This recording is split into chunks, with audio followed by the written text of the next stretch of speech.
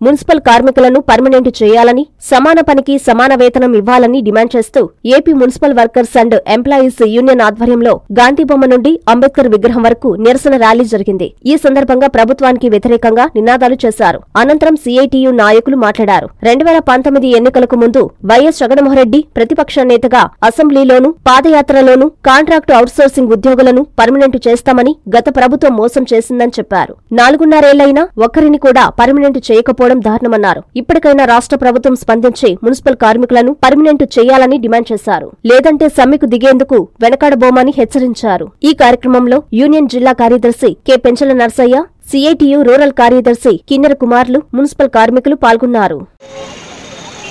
పేరు K. Penchal Narsaiah. AP municipal workers and employees union జిల్లా కార్యదర్శిని. మున్సిపల్ కార్మికుల్ని పర్మినెంట్ చేస్తామని చెప్పేసి ఈ రాష్ట్ర ప్రభుత్వం గత ఎన్నికల ముందు వాగ్దానం చేసింది. అప్పుడు ప్రతిపక్షంలో ఉన్నటువంటి వైఎస్ జగన్మోహన్ రెడ్డి గారు నేను అధికారంలోకి వచ్చిన ఆరు నెలల్లోపు మున్సిపల్ కాంట్రాక్ట్ అవుట్సోర్సింగ్ కార్మికులందరూ కూడా పర్మినెంట్ చేస్తామని చెప్పేసి హామీ ఇవ్వడం జరిగింది.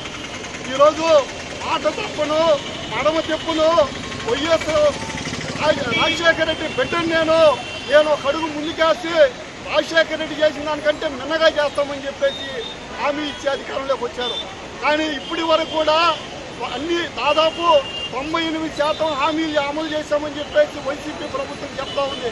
మేము అడుగుతా ఉన్నాం ఎక్కడ మీరు తొంభై ఎనిమిది శాతం హామీలు అమలు చేశారని చెప్పేసి మేము అడుగుతా ఉన్నాం. మున్సిపల్ కార్మికులకి ఇచ్చినటువంటి ఏ ఒక్క హామీ కూడా మీరు అమలు చేయలేదు. కనీసం సమాన పనికి సమాన వేతనం అమలు చేస్తామన్నారు దాన్ని కూడా చేయలేదు. లక్ష రూపాయలు జీతం ఇచ్చినా పని చేయమని చెప్పి ఈ పని చేయడానికి ఎవరు ముందుకు రాదని చెప్పినటువంటి మీరు ఈరోజు వాళ్ళ గురించి పట్టుకోకూడదు దుర్మార్గం. కాబట్టి ఇప్పటికైనా సరే రాష్ట్ర ప్రభుత్వం స్పందించి మున్సిపల్ కార్మికులందరినీ కూడా పర్మినెంట్ చేయాలని చెప్పేసి